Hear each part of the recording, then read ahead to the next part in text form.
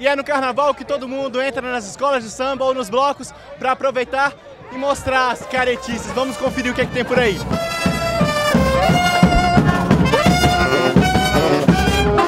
Para quem aposta que o carnaval está morrendo, não, não.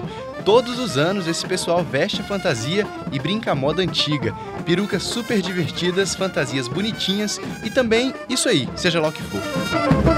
A criançada, ao contrário, deixa as bizarrices para os adultos e faz bem bonito. Entre os mais famosos, piratas, super-heróis e a turma do Chaves, quem diria? E já deu para perceber que o figurino estava impecável, né? Já esse daí não estava muito fantasiado, mas tentou dar uma de alemão. É, acho que não, hein? Não é que tinha gringo de verdade no Egito? Pues mucho calor porque para mí carnaval es pasar mucho frío y me estoy quemando. Para a espanholita, o sol estava queimando, ela não viu nada.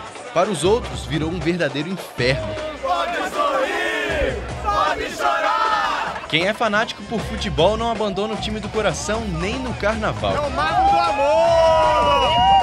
De guerra cheios de segunda intenção não podiam faltar. Pega na minhoca! Pega na minhoca! Aí eu tive que dar uma pegadinha, né? As mina pira.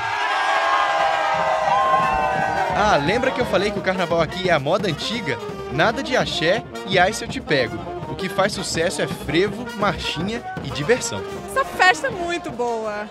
Eu não imaginei que em Brasília ia ter um carnaval tão animado, porque eu sou baiana, então eu entendo de carnaval, entendeu?